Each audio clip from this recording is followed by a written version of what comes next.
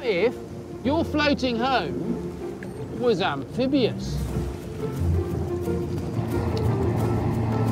And that's exactly what Ben and Michelle Spokes and their daughter Aoife are dreaming about. They enjoy barging about on Britain's waterways and roaming the countryside in their caravan. Now they want to combine the two pleasures. The rebuild will transform the Caraboat into a 72 square feet home that will be equally comfortable on land and water. They'll completely revamp the five decades old home to give it an ultra modern interior. As you walk in, there'll be a compact bathroom, followed by seats. There'll be an amazing hand built mini kitchen that pops up when needed, complete with a sink, cooking hobs, and drawers.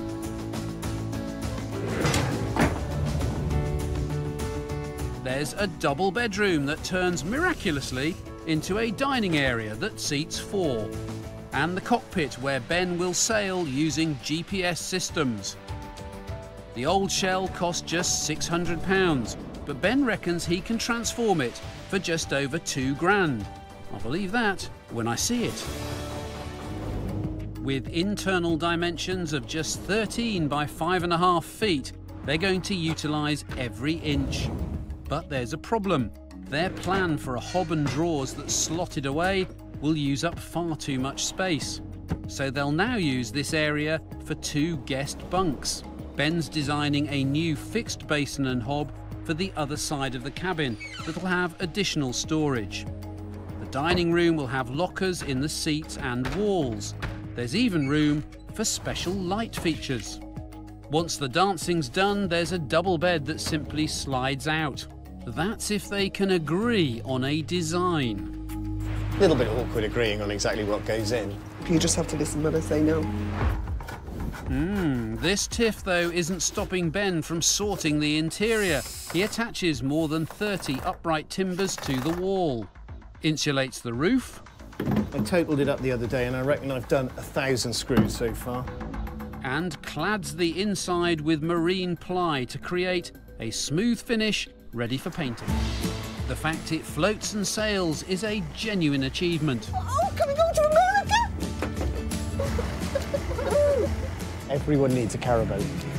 You live in the dream, absolutely. But even more impressive is what Ben and Michelle have managed to squeeze into just 72 square feet of living space. The grand tour. The grand tour.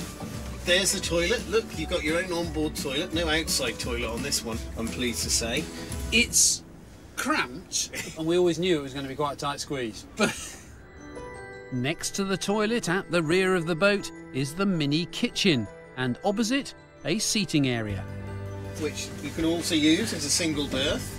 And you've got lots of USB chargers. Yeah, quite important. It's a slight nod to James Bond. It, there's a little bit there. He could power his gadgets from there, Yeah. you know? He wouldn't be completely at sea No. on this caravan, would he? Exactly. And the galley. Yeah, there's the sink and the tap. But it also combines under the draining board with a little burner for doing your cup of tea. If I take you out of the kitchen and we move into the Let's shuffle room. along. Let's move to the living room. There we go. Everybody wants on a floating home that amazing vista. From the kitchenette through to the dining room come bedroom and out onto a tiny veranda.